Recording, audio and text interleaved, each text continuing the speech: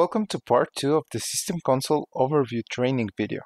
My name is David Garcia and we will take this training from where we left previously. In this demo, we will learn about System Console and some of its debug agents by using a simple design implemented in an Intel Agilex 7 F-Series transceiver SoC development kit. The design consists of a platform designer system with these components connected to a JTAG to Avalon master bridge. Two parallel input-output or PIO, which is a component that provides a memory map interface to general purpose I.O. port, which can be connected to external ports of the device or to any user logic in your design. One of these PIO acts as an output port for the platform designer system. The other PIO acts as an input port for the platform designer system. An on-chip memory that can be accessed through an Avalon memory mapped interface, and a system ID where you can read a custom ID code for the system.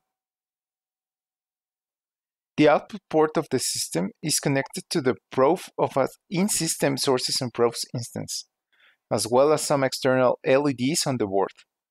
The input is connected to the source port of the ISSP instance.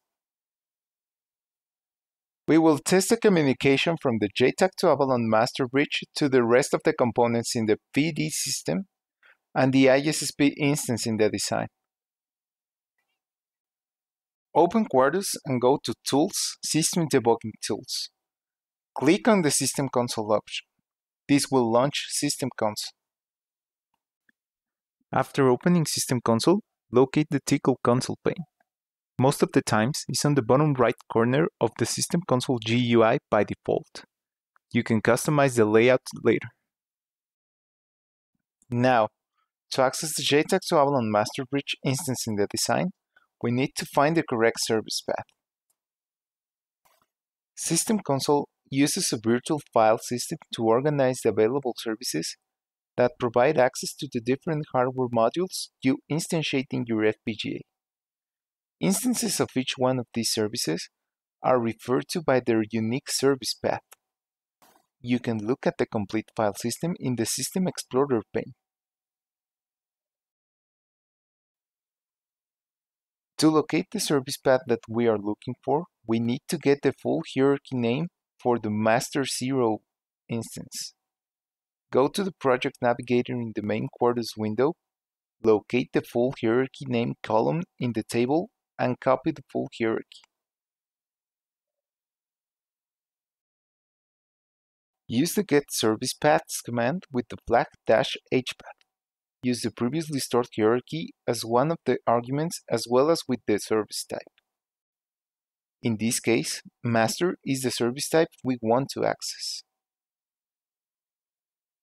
Open the service using claim service. This command requires the following arguments.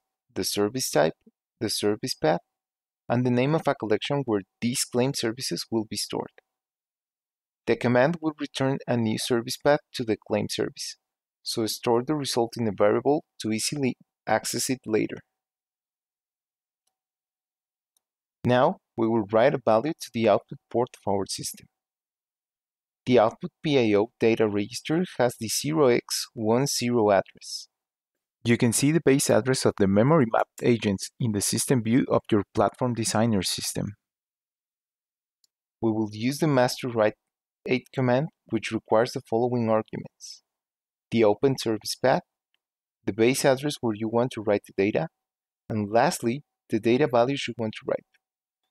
You can pass a list of values, but in this case, we're only writing one value. For this step, we will read the value of the output PIO using the ISSP instance present in the design. We now need to open the service associated to the in-system and sources and probes instance in the design. We're going to follow the same process as with the master 0 instance.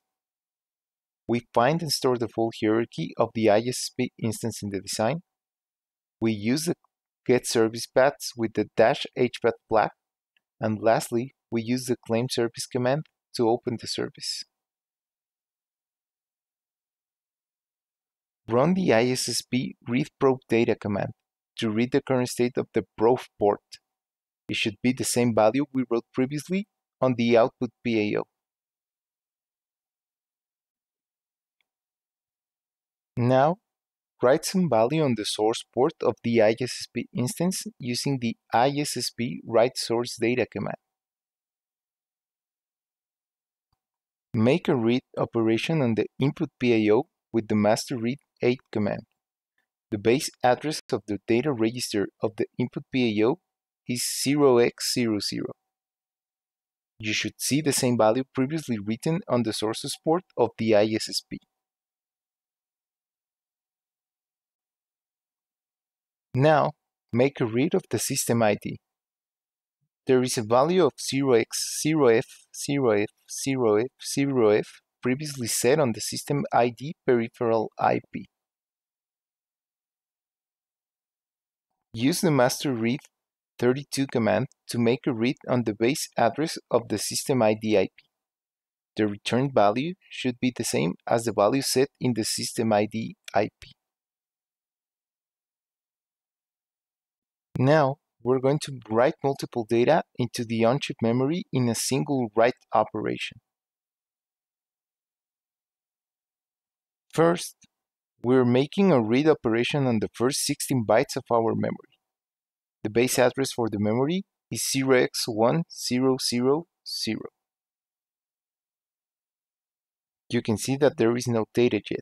Every returned value is 0. We're going to generate an array of 16 random bytes, and we're going to write these values to the first 16 bytes of our memory. You can pass the array as an argument for the master write command. It will make concurrent write operations while iterating through the input array. To make sure that the write operations were done correctly, make another read operation like in the first step. You should see the same values from the random values list. This concludes the demonstration for this training. Be sure to check more of our trainings to learn more about System Console.